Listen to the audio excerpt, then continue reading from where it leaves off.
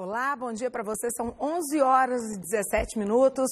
O TBC no ar tá entrando agora com alguns dos assuntos que você confere no TBC Notícias, primeira edição que começa ao meio-dia.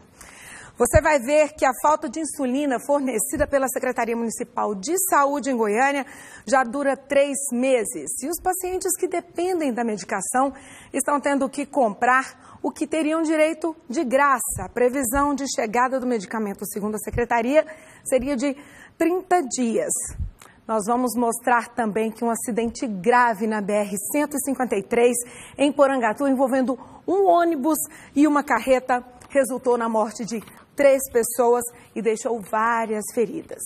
E hoje tem ainda o quadro Segunda do Bem. Olha só, a gente vai conhecer a história de uma onguinha aparecida que cuida de cerca de, gente, 500 cachorros. Olha quantos bichos. As despesas por lá não são poucas e a responsável precisa de todo tipo de ajuda. Eu te chamo para conhecer aí esse trabalho tão bacana e se você puder ajudar, que maravilha! Eu te lembro que o nosso WhatsApp é o 3201-7700. Você pode participar com a gente, manda aí o assunto que você quer conferir aqui no TBC1, a sua reclamação ou o seu elogio. Quer ficar bem informado? Se liga, daqui a pouquinho, TBC1, ao meio-dia, eu te espero. Até já!